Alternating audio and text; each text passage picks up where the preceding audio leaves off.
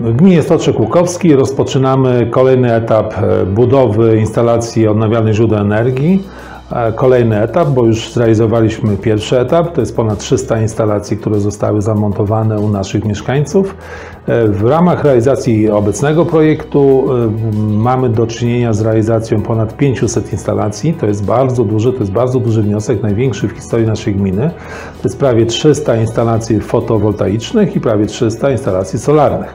Udało nam się pozyskać e, dużą dotację, bo to jest prawie 6 milionów złotych, a także, jako ciekawostkę może powiem, Rada Gminy zechciała wesprzeć naszych mieszkańców kwotą miliona złotych. Każdy, kto jest e, beneficjentem tego projektu, otrzyma z budżetu gminy dodatkowe wsparcie w postaci 2000 złotych.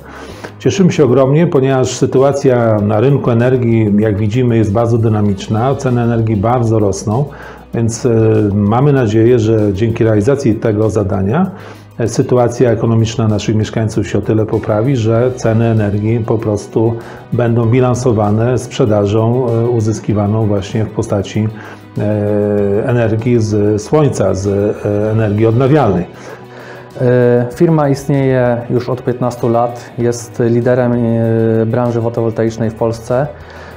Zrealizowaliśmy już ponad kilkadziesiąt tysięcy instalacji fotowoltaicznych na budynkach jednorodzinnych u klientów indywidualnych, jak również specjalizujemy się w e, instalacjach dla klientów biznesowych, z czego mm, najsłynniejszym naszym produktem jest e, i tak naprawdę można powiedzieć przełomem są kropki kwantowe oraz szyby z y, kropek kwantowych.